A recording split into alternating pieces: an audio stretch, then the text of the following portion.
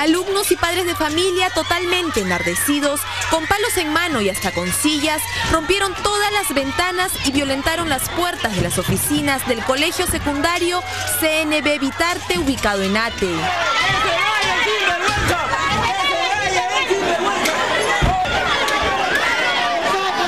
Ingresaron a la dirección y sacaron a la fuerza a Leonardo Félix Luna, a quien acusan de cometer serias irregularidades.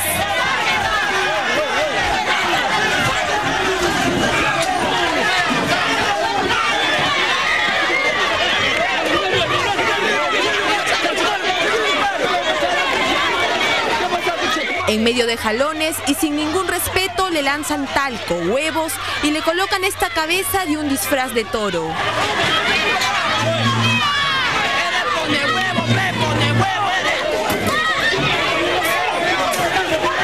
En los exteriores del centro educativo, otra batalla campal se desató.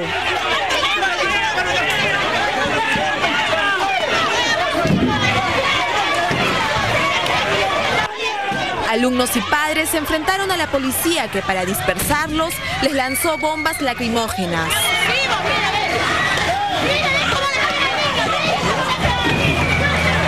Algunos escolares sufrieron desmayos. La policía trasladó al director a la comisaría. Dos alumnos fueron intervenidos por la agresión. ¿Pero qué puede ocasionar tamaña violencia en un colegio nacional? Están en contra del director. Porque no hace nada. No hace nada, se roba la plata, no hace nada, se roba la plata. Además, el director toma. Y si dar un, un, examen, un examen de sangre, está, está totalmente ebrio, totalmente mareado.